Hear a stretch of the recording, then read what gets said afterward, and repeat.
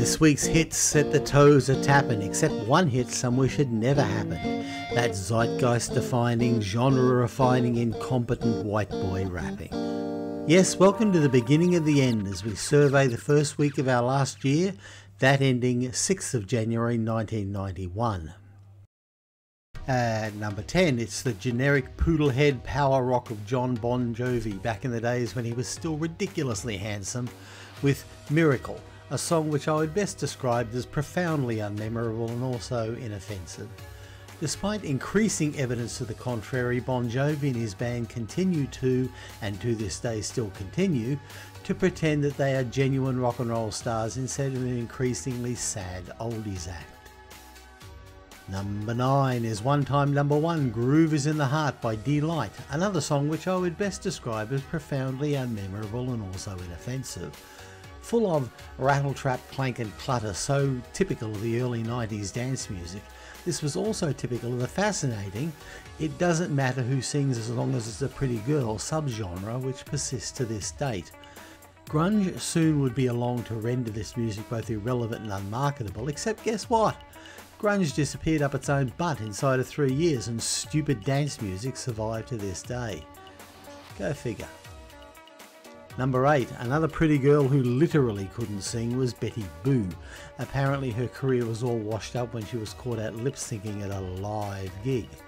With a record that I've never heard before, Doin' the Do. On the whole, I wish she would stop doing whatever she was doing and go back to being a hairdresser or whatever she was before fame called. This sounds like dance music made for hyperactive nine year olds. Number 7. Poodle Rock stands ascendant with Warrant's Cherry Pie.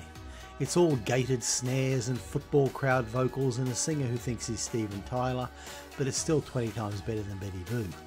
This spent 7 weeks in the top 10 for a high of 6, which makes it a marginally bigger hit than All I Need Is a Miracle by Mike and the Mechanics. Number 6, it's the, and stop me if you heard this before, preternaturally luminous and eternally pulchritudinous Kylie Minogue with Step Back in Time, the second single from one of her weaker albums. In the grand scheme of all things Kylie, the subsequent Let's Get To It album probably ranks a peg below it. I really should do a Kylie Minogue album rating, shouldn't I? While You Know showed business as usual for KM, the rest of the album and singles are a little flat, a little faceless. She'd recover by ditching Stock Aitken Waterman and go on to immense success, but this single was just marking time at best. No new songs in the top 10 this week, which is rare. The next number one is still to come in our countdown, and the number one after that is at number 19 this week. Number 5 is Burn For You by John Farnham. Recently, Farnham had a life saving surgery for cancer in his mouth and the whole nation held its breath in hope that he'd recover.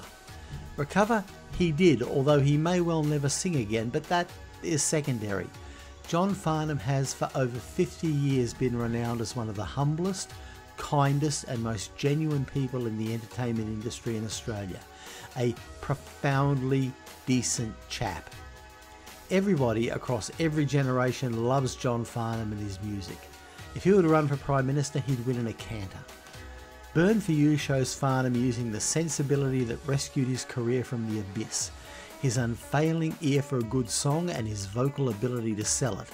Not his biggest hit ever, but one that would make any best of compilation. Number 4 Justify My Love. I've mentioned before that I felt that Vogue was the last truly great Madonna song, and this, her big statement for 1991, proves me right so far a trite and silly record, and that's alright because Madonna's been trite and silly before and it's worked for her. This record commits a cardinal sin of being boring. It's a pity Kylie stumbled in her career at this point. The crown was there for the taking. 3. She of the Big Eyes and the Big Voice, Maria McKee, lingered long in the top 10 with her theme from Days of Thunder, a film in which Tom Cruise's performance was overdramatic and Nicole Kidman's was, well, let's say, ossified. McKee did have great things in the future. She cut an excellent album called You Gotta Sin to Get Saved a few years later, which I wholeheartedly recommend to anyone who has any money left. in these scanty economic times. Number two. Well, we all knew it would come to this, so it's time to stop, collaborate, and listen as we address Ice Ice Baby by Vanilla Ice. This was the first hip hop record to make number one in the US. MC Hammer beat the record out in Australia. It's probably also the first step away from the general view that hip hop was novelty party music and was in fact a valid new form. Is it any good? To be honest, it's not that bad. Not as legendarily bad as some would have you believe, but whether it's great or awful is immaterial. Just as history isn't always made by nice people, musical history isn't always made by great records. Arthur C. Clarke said that only feeble minds are paralysed by facts. Well, my keen-witted watchers, prepare to be unparalysed by Foul's fantastic world of facts. It's Foul's fantastic world of facts. Hottest rocket on the chart this week was Pray by MC Hammer, which sailed up 16 spots to 14. It topped out at number 7, but still managed a 20 week chart run, which would have kept Hammer in parachute pants and gold lame for a while longer. Meanwhile, this week's fizzer was a former number one in Jukebox in Siberia, a piece of nostalgia chasing guff from the temporarily reformed Skyhooks, which did nothing but devalue the reputation of a once mighty band, and was down 11 places to 25. Highest debutante is another of the Doesn't Matter If She Can't Sing as Long as She's a Looker singer club, Soho with Hippie Chick, only they weren't that good looking and the record was dung and we already had the Hoodoo Gurus. And the emeritus record on our list this week was Lily Was Here by Dave Stewart and the exceptional Candy Dulfer, which had been in for 20 weeks. Number one in the good old USA was Justify My Love by Madonna, while in the UK it was, oh dear, Bring Your Daughter to the Slaughter by Iron Maiden. This time in 1990, the chart topper was Love Shack by the B 52s, and in 1992, what will probably be the last number one we ever essay in this series, in all his pomp and glory, Michael Jackson with Black and White. Number one on the album stacks was The Three Tenors with Zubin Mehta, still imposing itself on the popular psyche six months after it so gloriously soundtracked the rather inglorious 1990 World Cup. And there is but one monkey who can adorn this situation with his drumtacular skills. Monty, pound those tubs please.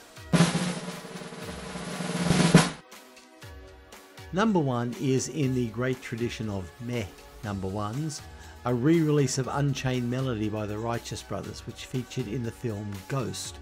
The song spent 50 weeks at number.